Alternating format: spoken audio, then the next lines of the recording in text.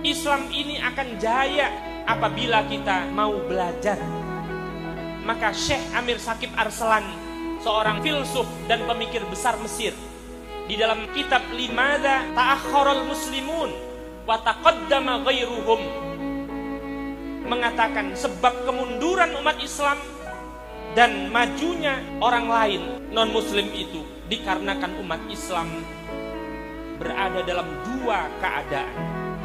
Orang Islam itu jahil anil Islam, tidak kenal secara baik ajaran agama Islam. Sebab yang kedua, sebagian orang Islam itu mutajahil anil Islam, pura-pura tidak tahu dengan ajaran agama is Islam.